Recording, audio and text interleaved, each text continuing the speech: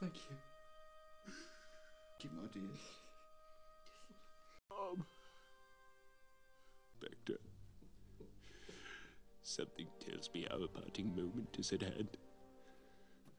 Me.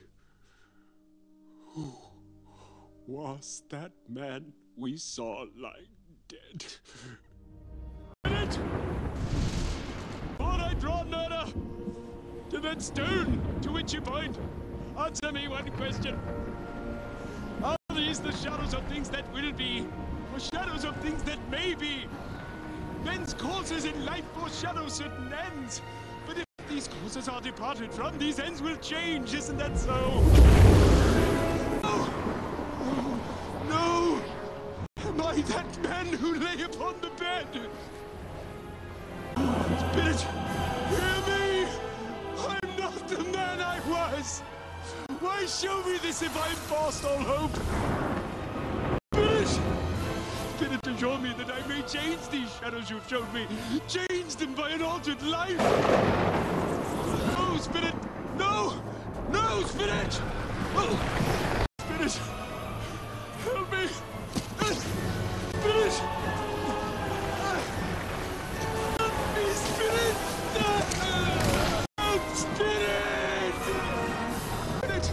I will honor Christmas in my heart and try to keep it on the air. I will not shut out the lessons of the past, nor present, nor future. Oh, pray, Spirit, tell me I may sponge away the writing on that stone. Yeah. Still here. I'm still here. Still here. Still here! know what to do. And light as a feather, merry as a schoolboy. I've Heard that laugh before. I say, what's today? Eh? What's today, my fine fellow? Today? What Christmas Day? It's Christmas Day. I haven't missed it. The spirits have done it all in one night. They can do anything they like. Of course they can. Of course they can. Hello, my fine fellow. Do you know the poulterers on the corner? I should hope I did. What an intelligent boy. Do you know whether they've sold the prize turkey that was hanging there? Not the little prize turkey, the big one. The one as big as me? What a delightful child. Yes, my buck. It's hanging there now. Is it? Go and buy it then. Walker! No, no, I'm in earnest. Go and buy it, bring it back here, and I'll give you a shilling. Come back in less than five minutes, and I'll give you a half a crown. I'll send it to Bob Cratchit's. He shan't know who sent it. It's twice the size of Tiny Tim. Miss Dilber. Merry Christmas! Oh my God!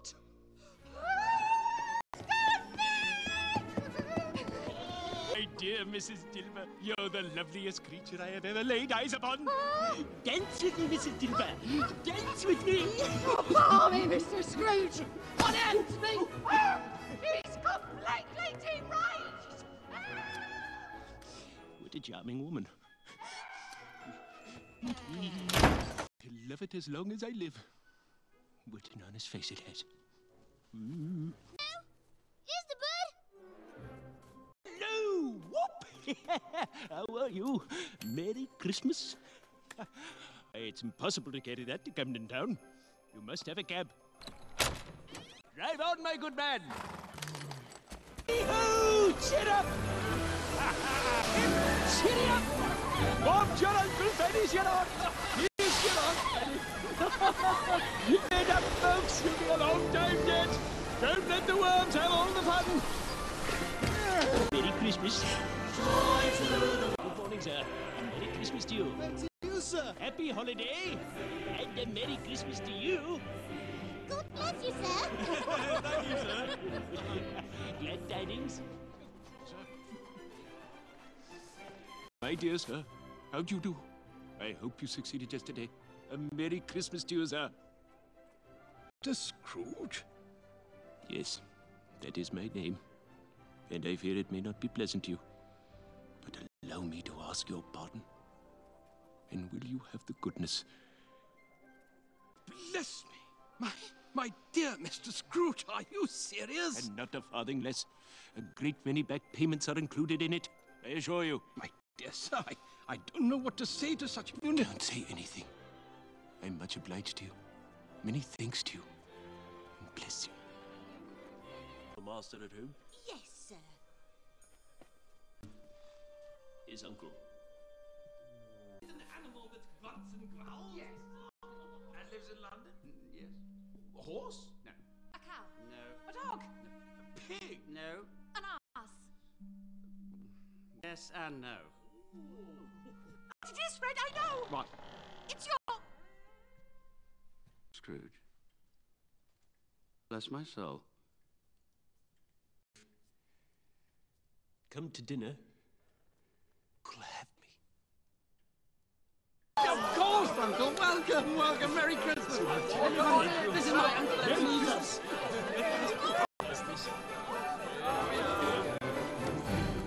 Good. Next year we must have this dinner at my house. I insist. I'll spare no expense. After all, you can't take it with you, can you? Sixteen minutes late. What do you mean by coming here at this time of day?